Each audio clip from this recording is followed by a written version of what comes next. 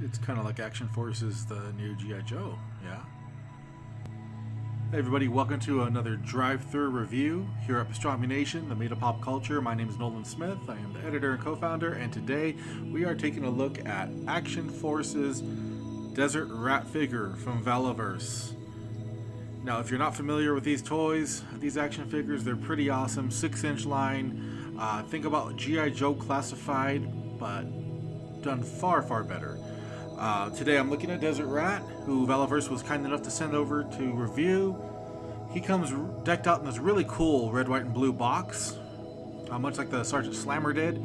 And let me tell you, this figure is super cool. I grew up being a fan of Dusty from G.I. Joe. I really liked the whole um, desert aesthetic to his uh, to his garb, and being from the desert, you know, it was like, yeah, yeah, this guy, this guy gets it.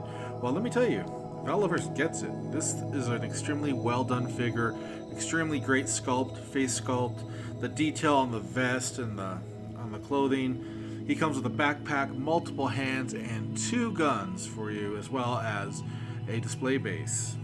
Um, I am actually blown away by this figure. It's extremely well done.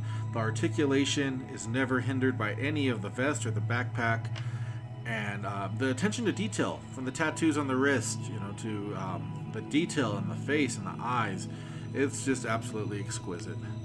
So please be sure to head over to Valaverse's website, check them out, make sure you uh, sign up for their notifications to find out when their new waves drop.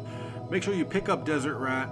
You will not be disappointed. I did a previous review of Sergeant Slaughter, the version 1 uh, version. Fantastic figure, but this, um, this blows it away by far giving this one a 5 Pastraminations out of 5. Please be sure to visit pastramination.com for news, reviews, and more, and follow us on social media. We're on Instagram, Facebook, Twitter, Pinterest, TikTok, just about everywhere you can think of.